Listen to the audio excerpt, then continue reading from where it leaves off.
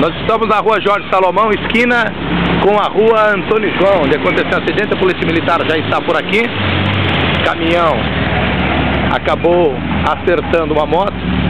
Caminhão, placas A e Z 4551. A Polícia Militar já está presente no local. O jornalismo da Líder FM já está acompanhando.